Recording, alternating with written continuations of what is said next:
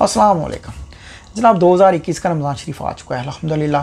अल्लाह पाक हमें तफ़ीक अता फरमाए कि हम ये रोज़े बहुत अच्छे तरीके से रख पाएँ, ऐसे ही जैसा कि इनको रखने का हक़ बनता है। अल्लाह पाक इन रोज़ों की बरकत से इस दुनिया और आखरत में हमें बहुत ज़्यादा फ़ायदा अता फरमाए, खैर बरकत अता फरमाए, अजर सवाब अता फरमाए। आमीन सुमान जनाब, हम ये रोज़े इसलिए रखते हैं क्योंकि हम पर ये रोज़े अल्लाह पाक ने फ़र्ज़ किए हम अल्लाह पाक की खुशनुदी के लिए, रज़ा के लिए, अल्लाह पाक के कुरब के लिए ये रोज़े रखते हैं, भूखे प्यासे रहते हैं। लेकिन ये सारा का सारा मामला एक स्पिरिचुअल पहलू है कि हम अल्लाह पाक से अजर स्वाब की उम्मीद रखते हैं। इसके साथ साथ हमारा अल्लाह हम पर बड़ा मेहरबान है, वो रहीमो करीम है। वो हमारी कदर करता है इस बात की कि हम उसके लिए भूखा प्यासा रह रहे हैं। तो इस फ़िज़िकल वर्ल्ड में भी अल्लाह पाक हमें बहुत ज़्यादा फ़ायदा देता है, हमारे जिसम को सेहत अता फरमाता है। बहुत सारी बीमारियाँ रोज़ों की बरकत से हमारे जिसम से दफ़ा दूर कर देता है। और इन बीमारियों में सबसे बड़ी बीमारी कैंसर है। जनाब रोज़ा हमारे जिसम से कैंसर को निकाल बाहर करता है, इस बारे में आज की वीडियो में हम इन ताला बात करेंगे। और सारी बात जानकर आप यकीन मानिए, अल्लाह पाक का शुक्र अदा करेंगे कि अल्लाह तेरा शुक्र है कि तुमने ये रोज़ी हम पर फ़र्ज़ कर दिए क्योंकि हम अल्लाह पाक की खुशनुदी के लिए, अल्लाह पाक के किए गए फ़र्ज़ की वजह से भूखा प्यासा रहते हैं।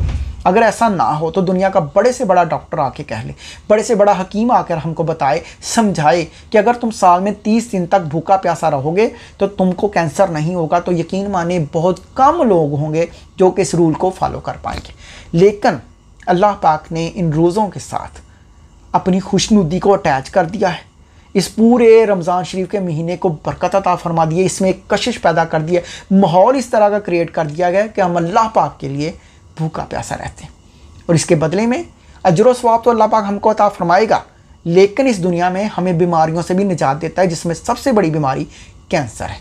आज की वीडियो में हम इसी बारे में बात करेंगे कि ये सारा मामला होता कैसे जनाब 2016 में जापान के एक साइंसदान, योशीनोरी साहब को मेडिसन में नोबल प्राइज़ दिया गया था। इनको ये प्राइज़ इसलिए दिया गया था क्योंकि इन्होंने हमारे जिसम के अंदर एक मैकेनिज़्म काम करता है, एक सिस्टम है जिसको आर्टोफेजी बोला जाता है। उसको एक्सप्लोर करके दुनिया के सामने पेश कर दिया था कि किसी भी जिसम में कैंसर के सेल्स को, खुलियों को ख़त्म करने के लिए, जिसम से निकालने के लिए आटोफेजी का अमल एक ज़रूरी अमल है। और इसको एक्टिवेट करके कैंसर सेल्स को हमारे जिसम से ख़त्म किया जा सकता है। इसलिए इनको ये नोबल इनाम दिया जाएगा। आटोफेजी यूनानी जबान का लफ्ज़ है, जिसके मैनी बनते हैं सेल्फ हीटिंग यानी खुद अपने आप को खाना। हम में से बहुत सारे दोस्त ये बात जानते होंगे कि हमारे जिसम में लाखों, करोड़ों, अरबों, खरबों सेल्स हैं, जो कि रोज़ाना की बुनियाद पर मुख्तलिफ़ काम कर रहे होते हैं। इनको काम करने के लिए एनर्जी मिलती है हमारे खाना खाने से, जो खाना हम खाते हैं तो इन सेल्स को एनर्जी मिलती है और ये हमारे लिए खिदमत करते हैं, मुख्तलिफ़ काम करते हैं। लेकिन इन सेल्स की, इन खुलियों की अपनी एक उम्र होती है लाइफ साइकिल होता है। ये अपनी उम्र पूरी करने के बाद मुर्दा हो जाते हैं, मर जाते हैं। और मरने के बाद हमारे जिसम के अंदर ही कहीं ना कहीं मुख्तलिफ़ जगहों पर स्टोर होते रहते हैं। जारी बात है, हमारे जिसम के अंदर ये रोज़ाना की तोड़ फोड़ जो होती है सेल्स बनते हैं, मरते हैं, ये रोज़ाना की बुनियाद पर होता है। तो इस वजह से हमारे जिसम के अंदर मुर्दा सेल्स का भी ढेर बढ़ता रहता है, कचरा जमा होता रहता है। और कुदरत का असूल है, जहाँ पर मुर्दा किसी भी हालत में हो सेल्स पड़े हों या कोई जिसम पड़ा हो तो उसमें जरासीम पैदा होंगे, उसमें बीमारी पैदा होगी। और ये मुर्दा सेल्स हमारे जिसम के अंदर जो अपना काम ख़त्म कर चुके होते हैं, ये वो वाह जगह है जहाँ पर हमारे जिसम के अंदर एक तरह से कैंसर पैदा होना शुरू होता है। यहीं से कैंसर फूटता है। अब ज़रूरी बात यह है कि इन सेल्स को जो कि मुर्दा हो चुके हैं, जिसम से निकालना ज़रूरी है, इनको ख़त्म करना ज़रूरी है ताकि कैंसर से बचा जा सके। तो इसके लिए ऑटोफेजी का एक्टिवेट होना एक ज़रूरी त्री नंबर है, जो कि हमारे जिसम में लाजमी चीज़ है। लेकिन ऑटोफेजी का ये अमर, सिर्फ़ एक सूरत में एक्टिवेट होता है कि जब बंदा खाना खाना बंद कर दे, यानी वो कुछ ना खाए तो हमारे जिसम के अंदर जो एक तरह से सेहतमंद सेल्स हैं उनको तो अपना काम करने के लिए एनर्जी चाहिए। लेकिन अगर कोई बंदा खाना ही नहीं खा रहा तो उनको एनर्जी कहाँ से मिलेगी? तो ऐसा होता है कि जब कोई बंदा खाना नहीं खाता है तो हमारे जिसम के अंदर के ये सेहतमंद सेल्स अपने इर्द गिर्द देखना शुरू कर देते हैं। और ये जो मुर्दा सेल्स हमारे जिसम के अंदर स्टोर होते हैं तो उनको ये सेहतमंद सेल्स खाना शुरू कर देते हैं अपनी एनर्जी लेवल को बरकरार रखने के लिए। यानी एक तरह का ये कैनबलिज़म है। लेकिन ये हमारे जिसम में बहुत ज़रूरी अमर है, जिससे ये होता है कि हमारे जिसम के ये जो ताकतवर सेल्स हैं ये जो ज़िंदा सेल्स होते हैं, ये उन मुर्दा सेल्स को निचोड़ लेते हैं, उनके न्यूट्रिएंट्स को खुद इस्तेमाल कर लेते हैं, जो पीछे फोक फोक रह जाता है, उसको जिसम से निकाल दिया जाता है।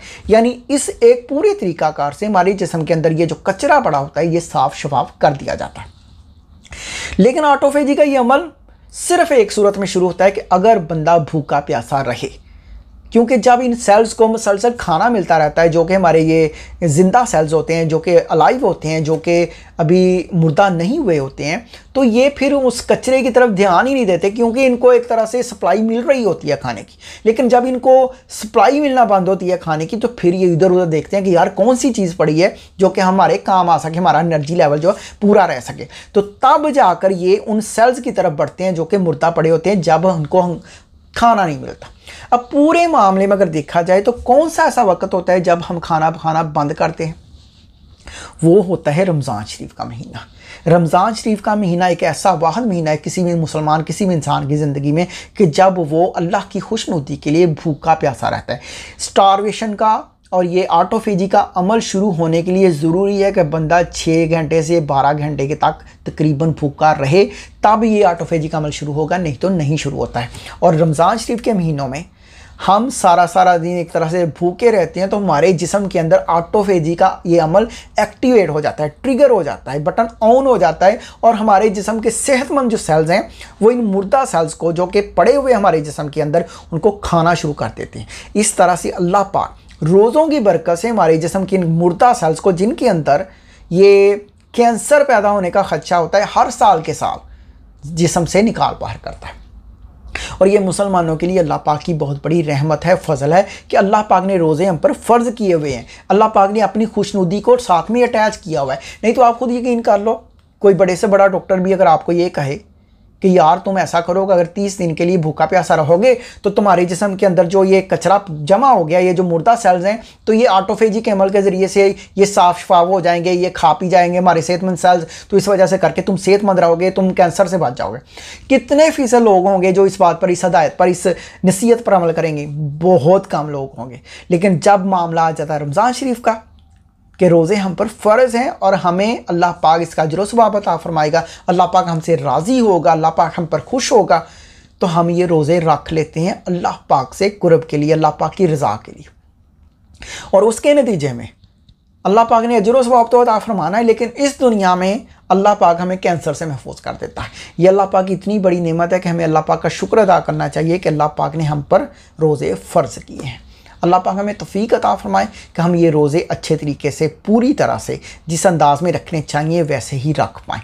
आमीन, सोमाइन। अल्लाह का शुक्र है कि अल्लाह पाक ने हमें मुसलमान पैदा फरमाए अलहमदिल्ला रबालमीन मैं हूँ जी खुरम रज़ाई बाद अली, वल मोहम्मद इशफ़ाक अली, मोहल्ला रज़ाबाद, चूर सिखा चक नंबर एक सौ अठारह, सांगला है। अल्लाह हाफ़